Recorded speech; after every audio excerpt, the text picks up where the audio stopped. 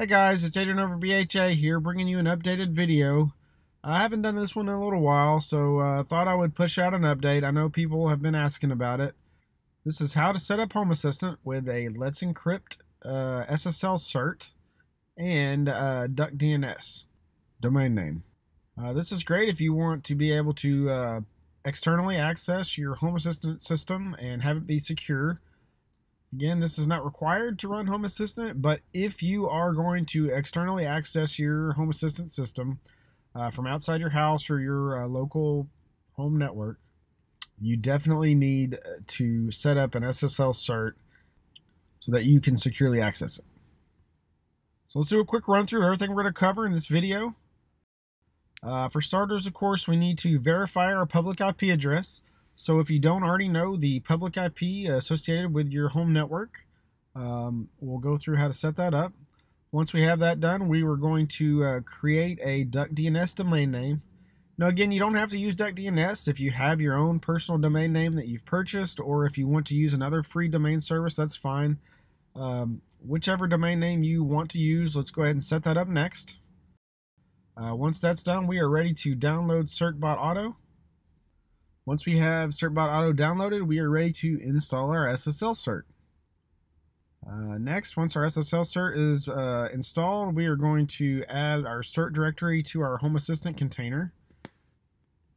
Once that's done, we are ready to update our Home Assistant configuration uh, to point to our new SSL certs. And lastly, I'll just kind of show you what that looks like in action. So let's get started.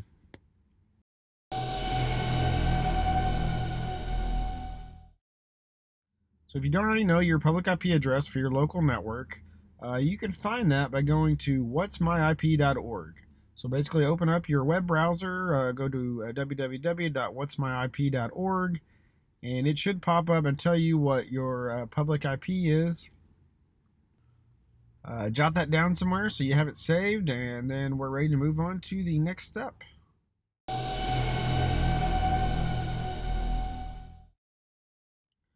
Alright, so now we're ready to create a DuckDNS domain name. Again, you don't have to use DuckDNS. If you have your own domain name already set up, or if you want to use one of the other free services, that's fine. But for the sake of this video, I'm going to show you how to use DuckDNS. Uh, so basically, you go to uh, www.duckdns.org. And of course, there's uh, all kinds of different ways to log in. I'm going to log in with my Google account. Uh, select my uh, Google account here. Get logged in with my password. Alright, so uh, basically here we are in uh, DuckDNS. Uh, right here where it says uh, add domain, you can put in whatever you want to call your domain name. So type it in here, hit add domain, and then as you can see down here at the bottom, it's going to list out the entry that you just created and it has the current IP address. Obviously, uh, if you need to change that or point it to the correct public IP, if it didn't automatically add that in there, then you can update the IP address. Um, otherwise, once you have that added, you are ready to go.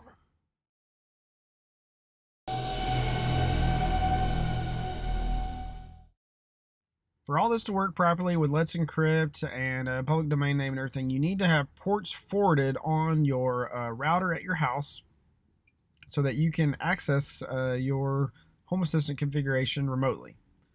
Uh, I'm not going to show you how to do that because obviously every router is different, uh, and depending on your home setup, uh, you know it will determine how you set that up.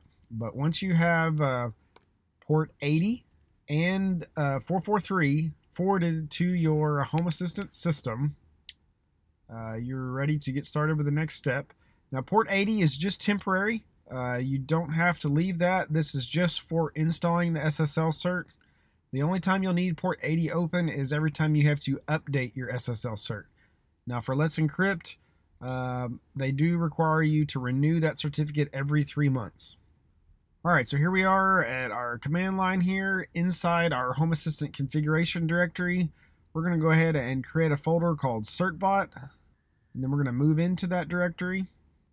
And now we're ready to download CertBot Auto. So we'll do a wget uh, https colon slash slash dl.eff.org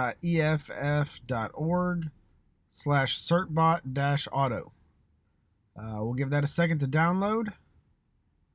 And the only other thing we need to do here is we need to do a chmod a plus x certbot dash auto.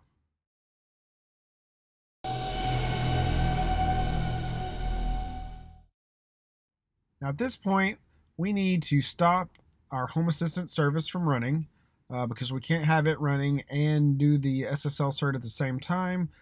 So we're going to go over to Portainer and stop hass or Home Assistant. Uh, once that's stopped, we are ready to move back to the command line and create our new SSL cert. So this is a pretty lengthy command. Of course, I'll have it in the description below, so you can just copy and paste it. Uh, but inside the certbot directory, we're going to do a uh, dot slash certbot dash auto uh, cert only dash dash standalone dash dash standalone dash supported dash challenges http dash zero one dash dash email and then put in our email address whatever that is and then dash d and the domain of our domain name that we just created uh, with duckdns or whoever uh, once we have that done then of course it's going to take a little bit to go through its process especially if it's the first time that you are installing certbot dash auto it will uh, download some additional files. We'll kind of fast forward through this so we're not waiting around for it to finish. Once that's done, if everything went well, you'll get a congratulations, here's your certificate, blah, blah, blah. Once that's done, we need to make sure that we have a few things set up for our certificates. So we're going to uh, change user to root, sudo su dash. I'm going to move to the Let's Encrypt directory, which is uh, slash etsy slash Let's Encrypt. And I just need to make a couple of modifications on the uh, files in that directory for our certificate. So we're going to do a chmod dash r 0755 live. And then we'll do the same thing for archive.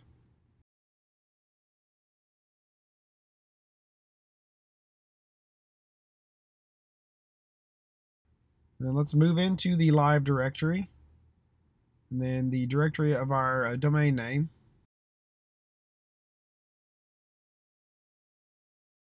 I'm just going to do an ls here uh, just to show you that those files are in there so it has created everything correctly.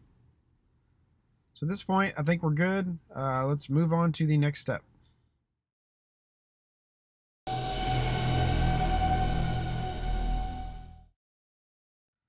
All right, so uh, there's not an easy way to add a, uh, a volume or directory to a Docker container.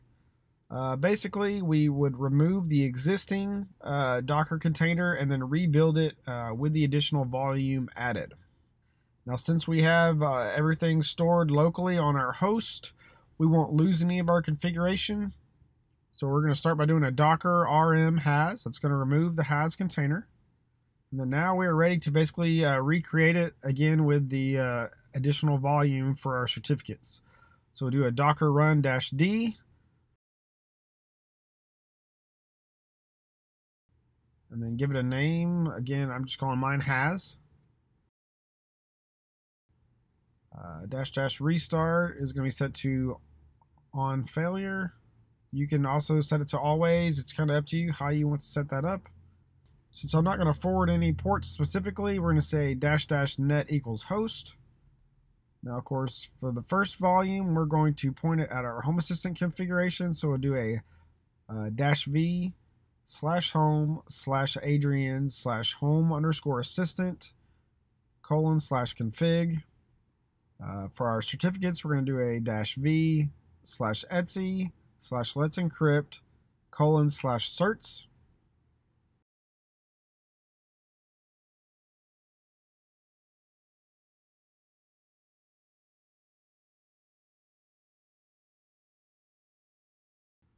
Uh, next, uh, we're going to give it our time zone. Mine is America slash Chicago.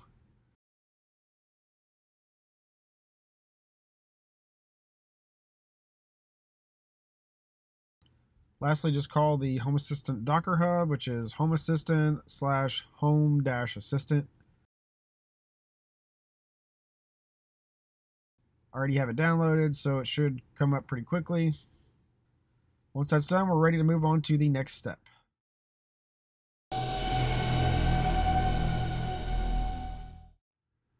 All right, so now we need to update our Home Assistant configuration file to point to the new SSL certs. So we're going to vi configuration.yaml, find the section that talks about HTTP. We're going to add just a, a few lines in here. Um, I have all my stuff listed in my secrets.yaml file, so it makes it pretty easy.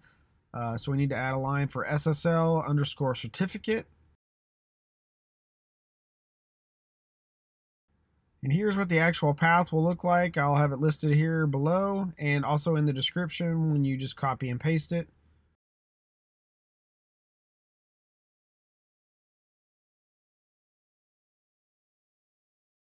Uh, SSL underscore key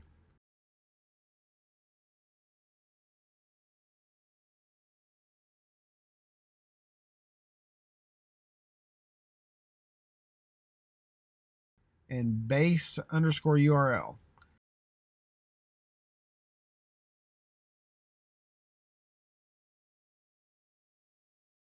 Once you have all this information entered in your configuration, you are ready to uh, save this and start Home Assistant back up. So we're going to move over to Portainer here, select Hass, and then hit Start. Once that's done, uh, we are ready to move on to that final step.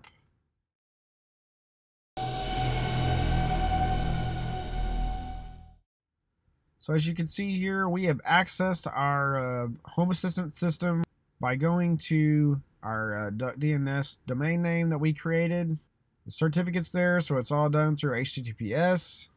Everything is working properly. I'm able to get logged in without any issues that is it, guys. That is the end of this video.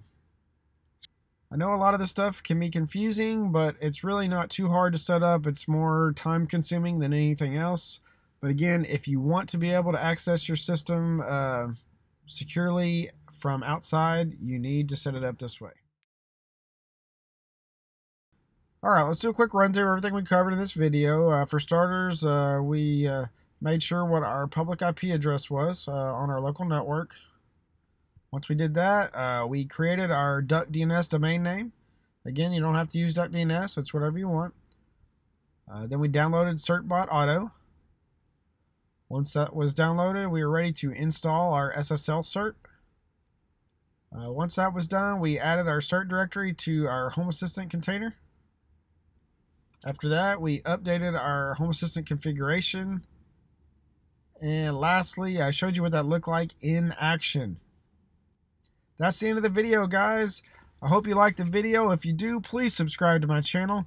Uh, if you have any questions or comments, hit me up in the comments below. And as always, if there are any videos out there that you'd like to see that I don't already have out there, let me know in the comments as well, and I'll see if I can't get something put together for you guys. Otherwise, I'll see you guys around. Thanks.